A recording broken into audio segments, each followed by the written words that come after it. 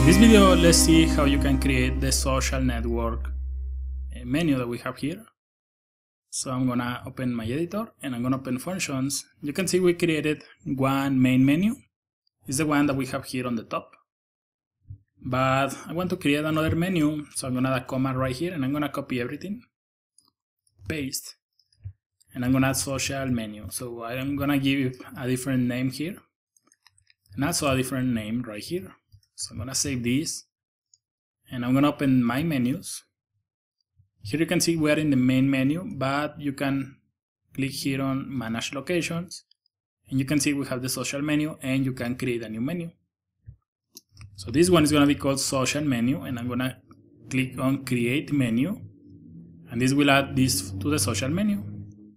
The way that you create a social menu is using the, this custom links tab that you find in WordPress. So let's say that I want to add a Facebook page. Maybe you add Facebook page slash and something else. At the moment I'm to leave this as Facebook only. So I'm to add Facebook here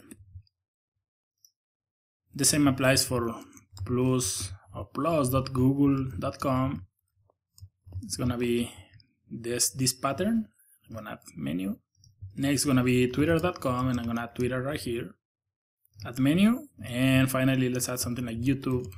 In, in case that you want to link to your youtube channel you can add youtube.com and add menu. So i'm gonna save this menu as it is and I'm gonna open my editor and I'm gonna open the footer.php here where we have the menu here I'm gonna add a PHP block and I'm gonna add WP nav menu and I'm gonna pass an array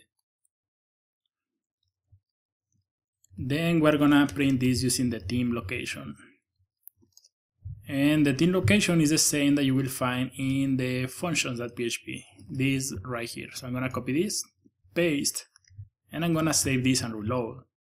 You can see we have Facebook, Google+, Twitter, and YouTube. So you can change this, save, and reload.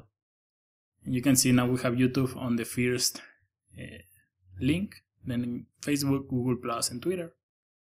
So in our design we have Facebook, so I'm gonna have Facebook. We have Twitter and Google+, and finally in YouTube, so we have Twitter, Google Plus, and finally we have YouTube. So I'm gonna click here on Save Menu and reload. And this will be the, the order or the correct order for this. Before we finish this video, I'm gonna add an H3 right here. And this the text is gonna be follow us, follow us, save and reload